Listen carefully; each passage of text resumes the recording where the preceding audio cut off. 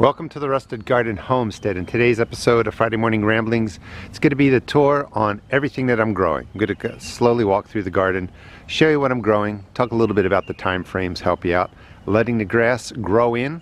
This is going to be wonderful mulch and compost. But let's start right over here. These are a lot of flowers, perennial flowers that I started in January and February inside. And they are all repotted up into the quart root pouches that I sell. Different pots I'm repurposing, but this is a great way to save a lot of money. These are all perennials, well there's some annuals in here. But I'm gonna, you know, plant up the whole homestead. Pennies a plant, saves you a ton of money. Just wanted to show you what they look like after three months of, you know, starting them from seed. Foxglove, lupines, hollyhocks, uh, sea holly, balloon flower, and then some annual coleus in the back there. This is a great way to save money. The perennials will come back year after year. They're going to bring in pollinators to my garden. I highly recommend planting some flowers along with your vegetables. All right, let's walk over to the main garden. This is one section on my property where I grow flowers, you know, a little sitting area, perennials again for those pollinators, good insects. But I also uh, throw in some herbs, uh, peas into containers. These are 22 gallon containers. They have bottoms, but there are holes in there. There's about 15 peas in there. You can plant them really closely together. Peas love soil that drains well. They can go out quickly into the garden when there's still frost around. The pea plants themselves can take a frost. The flowers and pods can't. But these have been in there for maybe that's 10 days worth of growth. So they're about ready to take off. But anywhere you can drop in peas, in the spring early into your containers that haven't, you know, uh, been refilled if you were growing annuals in them or if the perennials aren't up yet, you can tuck peas in around them. Little tripod, TP tripod will take care of them.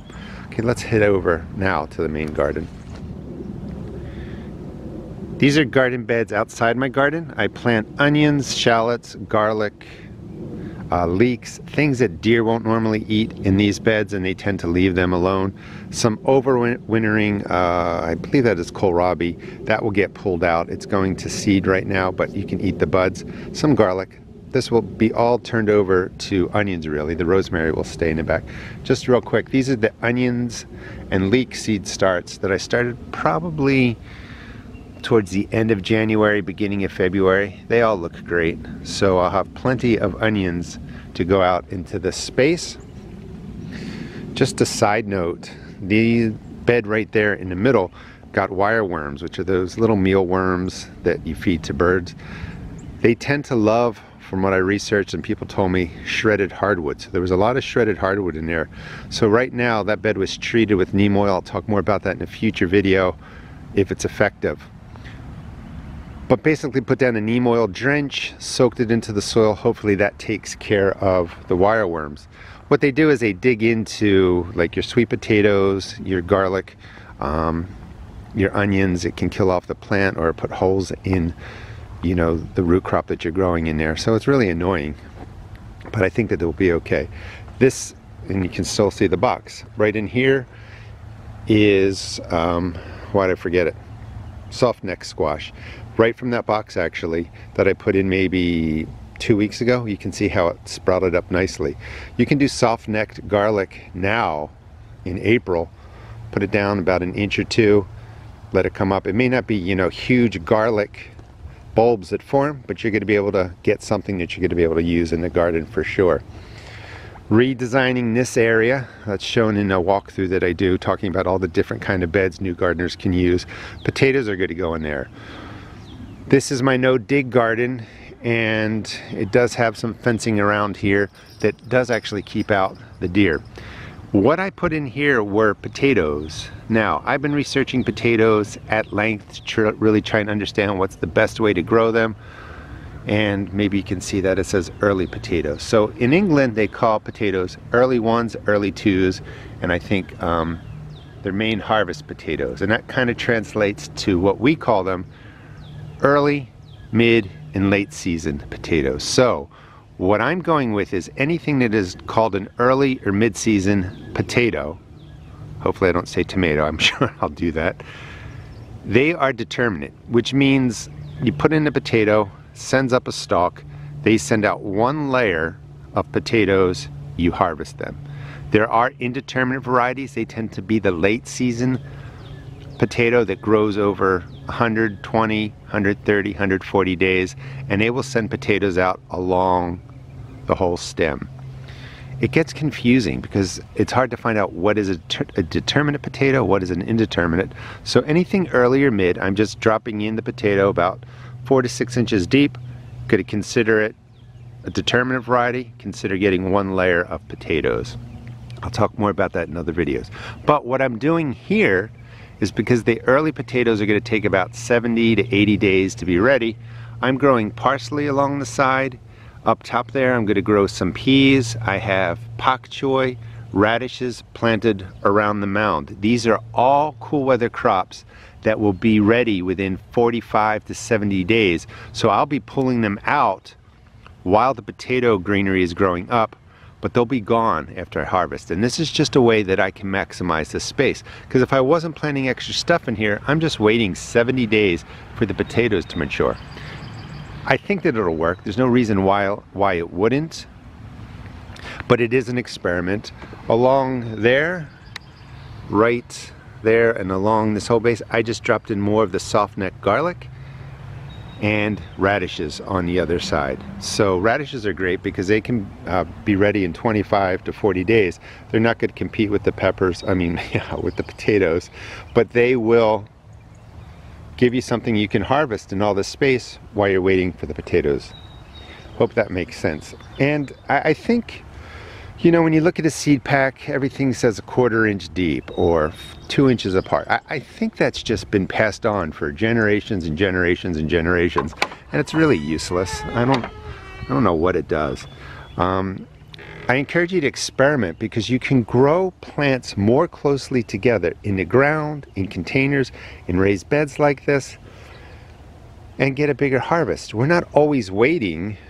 The lettuce there, for instance, is spaced out to get bigger heads, but you're not always waiting for maximum growth in your leafy greens. You're picking them at different times. So go ahead and sometimes cram stuff next to each other, see what the difference is. If you do peas four inches apart, or you know, you make the rows only three inches apart and you put the seeds one inch apart, does it really matter? And I don't think it does. Three rows of peas, these are put in oh, at least four weeks ago. They were covered and protected from the heart of frost we were getting. They're doing wonderfully. I'll be dropping in some sticks, four foot sticks along the center of these rows for them to trellis on and then they will fall over and grow up the fence. Peas do need to be trellised. Mixed in here are radishes. And they're doing okay. Of course, I put in potatoes I started from seed way down there and the frost still got through the plastic that was here and killed them off. They're fragile. So potatoes, just so that you know, you can put them into the ground four to six inches deep while it's still freezing and frosting. But once the greenery breaks through the surface, if that's hit by a frost, it is going to die off, you know. So you want to time it that it's doing everything, the potato's doing everything it's supposed to do in the ground, when it breaks the surface, frost has gone in your area. You're going to have to protect it a little bit. Lettuces that I seed started, these went into here on the 28th of March. Today is April 7th. Arugula along there. Arugula sprouts up really fast. You know, I put it right next to each other. I don't space it out because I'm going to be cutting it while it's still small. And that went in on March 28th. So arugula really pops really quickly. That's sprouted in about seven or eight days. The other thing that I'm doing is I'm not spreading everything out this year throughout my garden. I used to just tuck stuff in different places and it kind of got silly because you know you lose track of, of what you're growing. So right now this garden is the cool weather garden. Everything is in one place, easy to tend, easy to keep an eye on. That is cilantro on the ground and along the edges that I seeded last fall. Cilantro can actually take a freeze and a frost. It's a cool weather crop, warm weather crop. When it's cooler, it tastes better. It doesn't flower as quick. Once it gets warm, it does flower pretty quickly. In this space, again on March 28th, I put in beets, purple top turnips and you can see April 7th that the turnips already germinated. They germinate really quickly too. Beets will be coming. Um, let's see, I've got carrots in the back. You know, those are all cool crops that you can get into the ground now. That's rhubarb right there. So this will be a really nice um, raised bed with beets, turnips, carrots, and then rhubarb, which people tell me that will take over the bed, which is fine. If this all becomes just a rhubarb bed over the years, that's okay, but right now I'm planting around it. All these containers, or all these raised beds, have open bottoms, by the way. More peas that I put in, that is some celery. Over here, these are fire rings. I talk about these a lot. Bloomsdale spinach, this went in on March 3rd. April 7th again, so about four or five weeks of growth.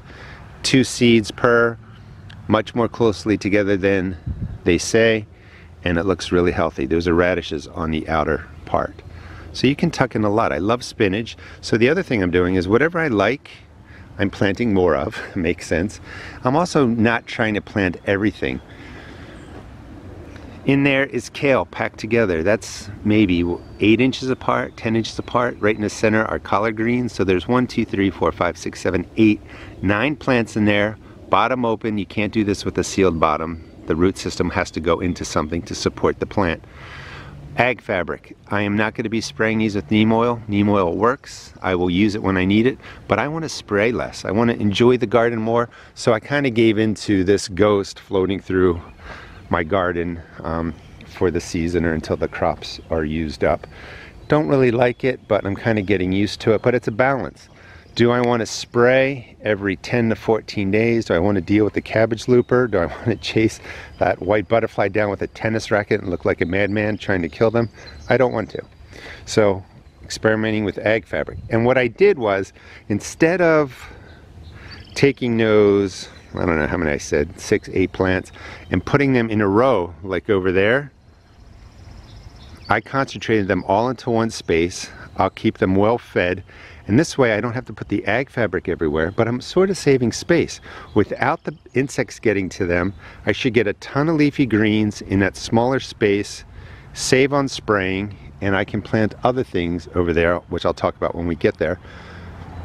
So it'll be a win-win as long as I can get over looking at that monster there.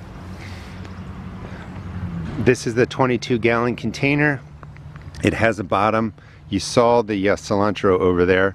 So I seeded this about 12 days ago, heavily seeded, tons of cilantro. I also let this totally flower because it brings in beneficial insects and pollinators. Parsley, butterflies, the good butterflies at least that I like, love it, they will come and lay eggs on there. Garlic from last year, this is a hardneck garlic. This is just a pail, has a bottom in it. We'll wait for this to brown out and fall over in later June and see what we get garlic wise.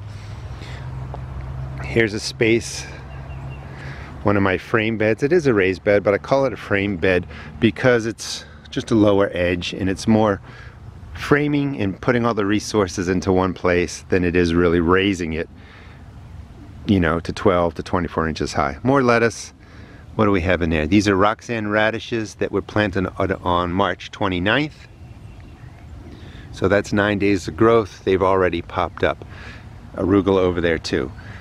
You don't want to put down a thousand radishes all in the same day because then you'd have to eat a thousand radishes within a few days span. So every two weeks after they pop up, wait two weeks, put down some more radishes. And this way you'll have a continuous supply of radishes coming in over the season rather than having to eat them all at once. This is a space that's getting transitioned over. This is uh, Brussels sprouts that overwintered, eating the greens and the sprouts on there. But temporarily, just put in a red romaine lettuce. That will uh, be done within, I don't know, four or five weeks, and I'll be putting beans along here. So all this green will be coming out. These are plants that overwintered. Here is where I used to do a whole row of kale. I have potatoes in there. I told you I'm doing the big potato experiment this year. the early variety so that I just drop the potatoes in. I'll let them go. I'm not going to plant anything on top of those. I want to see how they do. Collards, cabbage, broccoli. I'm going to grow more of the broccoli and cauliflower at the end of the year. I've talked about that before. They just don't do well here from spring into summer, but they do great from summer into fall. This is the cattle panel. This will be set up so I can put ag fabric over it or build a polytunnel. That's kind of an ongoing experiment. Carrots in my area do best if I plant them in fall. These are fall planted carrots. They're going to be ready to harvest shortly. You want to harvest them before they send up the flowers. They are biennials, so it's looking to flower in the second year. So we got carrots and celery, parsley, planted more closely together. That's the celery that should be perfectly fine. If you're planting things more closely together, you're just going to have to possibly water more, feed more, manage more. But this is more of a raised bed. There's great quality soil in there. I know the bottom is filled with uh, compost and different things, so there's plenty of nutrients in there. This is the container garden I'm working on for the series. So in here, so here's an example. This is all blue and I have it marked down as a late potato planted on 326. Well, as I'm reading last night, it says that all blues are early potatoes. It's really, really confusing. So I had this removed. I had half of this removed. I had the blue potatoes down to about here. And as they grew up, the stems, I was going to backfill to get more potato growth. And I said, forget that. I'm tired of this, not being able to find what I need. Eventually I will. So I just filled it back over so I have potatoes here. That will send up a long stem and it will naturally just grow potatoes if it isn't an indeterminate variety as is. But I'm also going to put some early potatoes, some red potatoes, four inches deep right on here and just pack it in. So the early potatoes will be growing in here. The later potato if that's what it is, will be down here and they will just intermingle. I'm not looking for huge potatoes. I just want a lot of baby potatoes. So I have the great potato experiment going on this year. Closely put together, um, planted I mean, uh, different sweet peppers right over there on the right side. So we got peppers and potatoes. This whole space has not been filled out yet, but it will. And you can see concentrated stuff over here. Over here on my left, and then these are plants I started indoors. We have beets that, golden beets that went on in the ground on 330. I have, they're probably coming up. This is pak choi, yeah, there's a little one. Pak choi will mature really. Well, you might have noticed the lighting has changed. I'm actually leaving for a flight shortly to Nashville and some of the video got corrupted so let me just pick up right where I left off and actually a good thing because I realized coming out here now um, I forgot to put down my iron phosphate which are baited slug pellets. You could use sulfur baited slug pellets or iron phosphate. They work really well. Just scatter them around on the path. You don't need to put them near your plants. That takes care of my snail and slug problem. But I was saying that pak choi or bok choy will sprout up really quick. It's best planted in the ground. Whenever I try and start them in cells, I put them out here. They never fully develop. They flower really early. Going down here, I have endive, on the left, mustard greens at the top. This is all spinach and this is um, Bibb lettuce all along here. So these are seeds that I started indoors. Wanted to show you the other place I put onions. I put them in here. And one of the biggest fails people have with onions is they just don't water them enough. They take a lot of water. When you're first moving them from your seed trays or you're putting in um, your transplants from wherever you get them. It may look like they don't need a lot of water, but they really need water every other day until the roots are fully established and things get going. The other thing is, is they would love some nitrogen. Any plant that you're putting out now would love nitrogen. So let's transfer over to the rest of the video. Any plant that you put in now will like to have, you know, a drink of nitrogen just to get established and to grow. Your overwintering garlic would also like some of that nitrogen. I don't give nitrogen to radishes. I found that that just seemed to work better for me in my area. This bed are all plants that overwintered. They'll be eaten, removed, but they're going to be cleared out come come really the next week or so. This was the experimental area where same exact crops on both sides. No plastic was put on here. Plastic was put on here when it would get to a frost temperature and you can just see how much better they're doing. These are put into the ground on March 3rd, again April 7th. And, you know, these are growing, but the frost and the cold kind of slowed them down. These all look great. So the peas will trellis up. I think these are probably French breakfast radishes. They're getting to size, you know, about another week or so. I am going to do the video finally. Temperatures are right. We have 10 days of 45 plus degree nights, 70 degree days. I can start these towers and I've already started putting in some peppers so these are going to be a sweet pepper tower, but I'm going to be doing that video later today.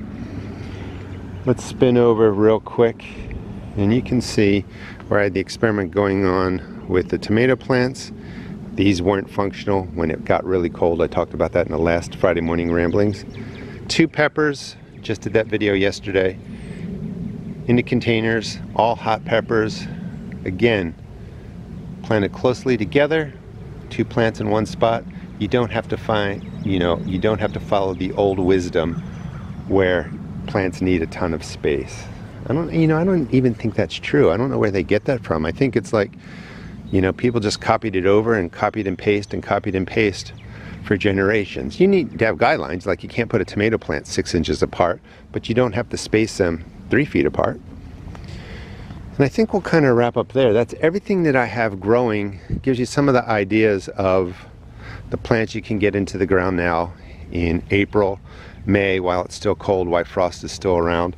That's some overwintering kale, hardneck garlic, strawberries are coming back. Those are all 22 gallon containers. They have bottoms. There's holes pump, uh, punched in there for drainage. So you have a good idea of some of the plants you can start by seed, plants that you can start inside um, bring outside. For instance, if you put lettuces into the ground now, lettuce seeds into the ground, they could take 10 to 14 days to germinate outside because it's cold. If you germinate them inside, they will start growing and germinate really within five to seven days. You get a little bit of a jump on the season because they start, they germinate more quickly, they get larger, you put them into the ground as the temperatures start going up and you don't have seeds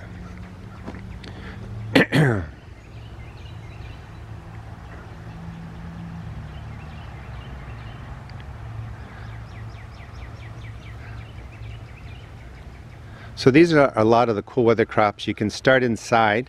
They'll germinate more quickly than sitting outside when it's cold. Or you can direct seed into the garden now and it'll do really well. So like I said, I'm going to be putting fish emulsion down. That's organic. These are blueberries. They like a little more acidity in the soil. I'm going to use um, Miracle-Gro acid water soluble fertilizer. It's chemical based. It's not going to hurt my garden. You can use chemical fertilizers here and there if you wish you know, don't over stress about it. But that extra acidity will help out all of my blueberry plants. Hope this gives you some idea of what you might be able to start now in your area. Combination of seeds starting indoors, combination of putting seeds out in the ground. But now is the time to start planting. Thanks so much for watching. And please check out my seed shop at therustedgarden.com.